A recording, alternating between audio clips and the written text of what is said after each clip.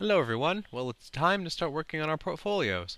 And to do that, we're going to expand upon what we learned from w3schools.com. You did do your homework, right? And we're going to be doing our portfolios ourselves by hand in HTML. So what you see here is the basic.html that will be supplied to you. This is our most basic of basic templates to get us started with making a web page. You'll see the head tag, is something that you might not be familiar with with your reading, but what it's useful for is this title. This is the title of the web page. Up here, W3 Schools Online Web Tutorials, this is where your title will show. So that's something new for you. But you know about the body already from your readings. That's what the web page will look like. So let's get started with creating our portfolio. So the first thing we need to do is we need to change the title.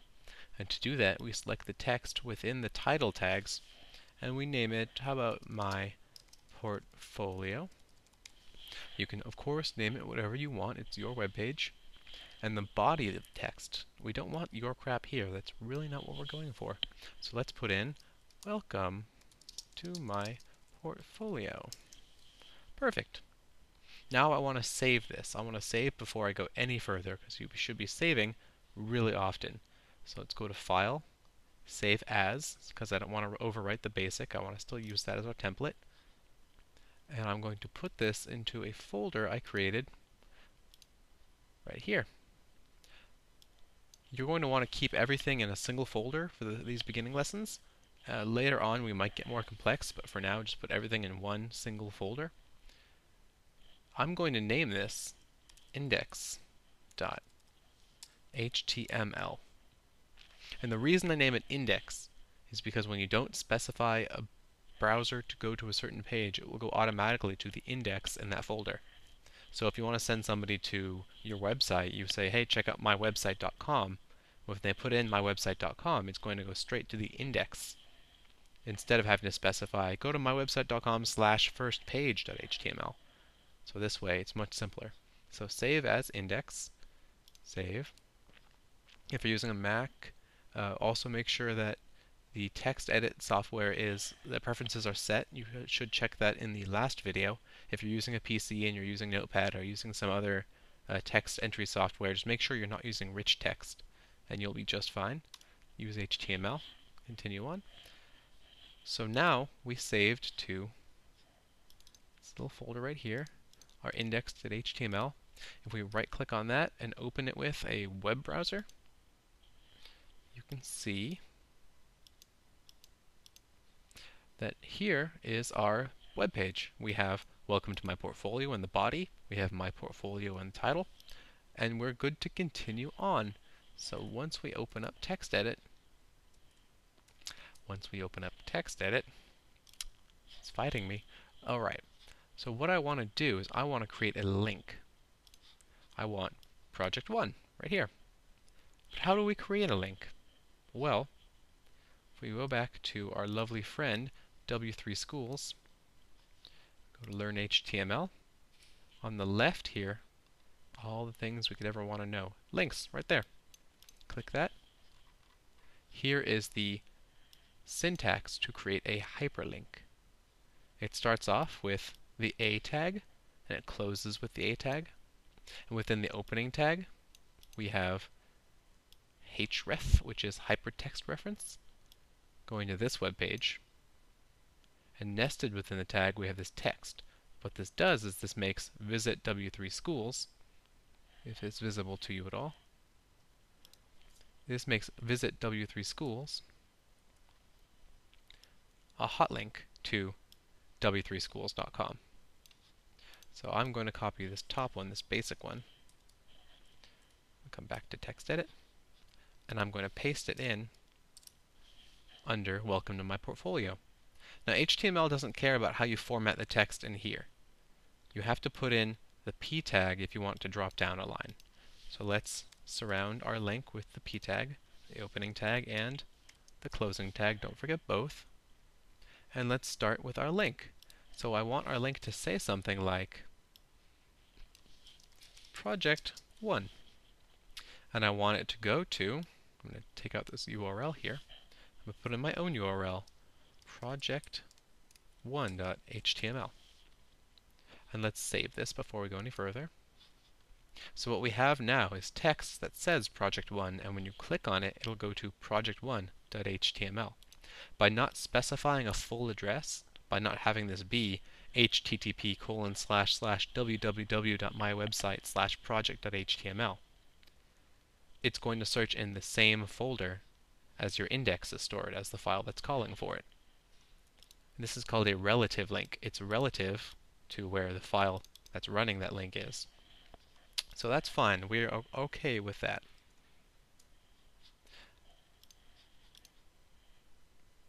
So let's continue. We need to make our project1.html. So let's uh, save this. I'm pretty sure I saved it recently, but it's always good to save often. Let's go to my desktop here. And let's open our basic.html again. Right click it, open with, text edit. So we're back in our basic.html. Let's make it a little bigger so you can see. So we're back in the basic.html. Let's first thing, let's file, save as, project 1.html. Save it as project 1. Use HTML. Perfect. So let's do the same thing we did last time. Let's change the title. Project 1. Let's change what's in the body. This is my project 1. And let's save. File, save. So now we can go back to our browser and we can look at the index that we've created just like we did last time. And if we hit refresh, we should see there's the link we put in earlier. And if we click on that link, here's the project 1 HTML that we made. This is my project 1. Of course, there's nothing there. There's no project there. So now we have to look up how are we going to put in our project? How are we going to put in an image? Let's go back to W3 Schools. On the left, we see HTML images right here. Give that a click. Come on down you'll see here is how you insert an image. Same as creating a link, we have the href, or in this case the source, and this will point to where the image is. And we have what's something new called alt text. This is for uh, accessibility.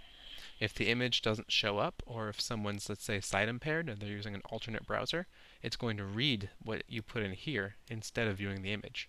So you want to put in a quick description of the image here. Something like, this is my project 1, or project 1, project 1 thumbnail, something in there to tell the browser what it's looking at, the user what they're looking at. And this is actually a self-closing tag. You'll notice there's no slash img closing tag. There's just a little slash at the end here. Some tags are self-closing, and H, uh, W3 Schools will tell you which ones are which. Let's go back into text edit. Let's create on a new line, so we can need a new paragraph. Let's start with also creating the close. And let's paste within that an image.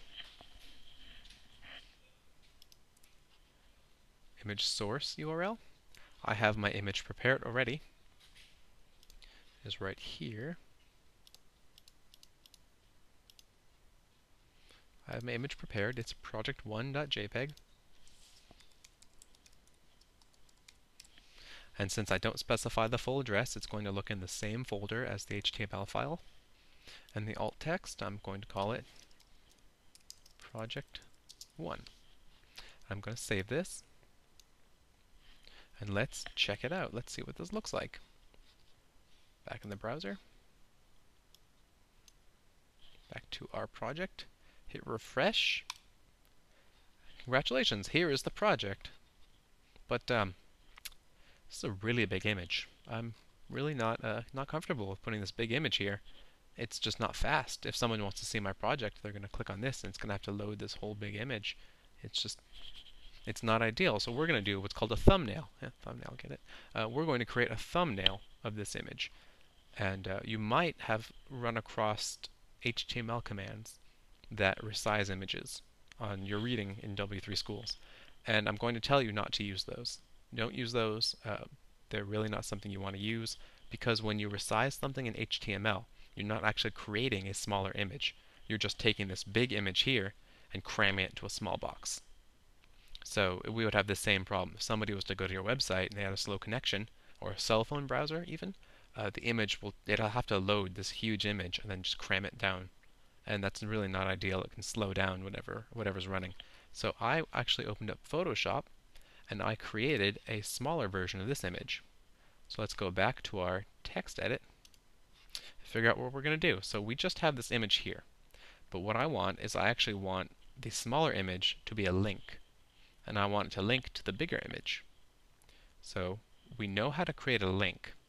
And we know how to do an image. If we go back to W3 Schools, back to links, here's the code for a link. Let's copy that. Go back to our text edit, paste it in, and what I want to do is I want to take out this closing tag, cut that, and I'll put it behind the image. So now what I've done is I've nested I've nested this image tag within the link tag. Anything nested within a link tag automatically becomes a link. And we can actually take out as well this link text, because we don't have any text anymore, we have the image. So now we can change the URL of the link to point to project1.jpg and we can change project1.jpg to point to our thumbnail instead of the big image. I believe I called it project1 thumb. So here we have our link and our link closing tag. And nested within the link, we have an image. So if we save that, come back to our browser, back to viewing our project, hit refresh, and you see here is our thumbnail image.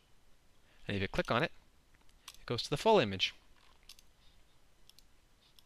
Let's just do a quick recap of what we have so far. We have we have an index. That is our first page. We have our project 1 which is our second page. And we have a our project 1 image and its thumbnail.